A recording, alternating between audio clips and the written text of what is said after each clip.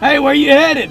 Uh, just up the road to a friend's house. You want to ride? Uh, no, I'm good. I'm just like almost there. You want some candy? What kind? I, uh, got some peppermint and some kisses.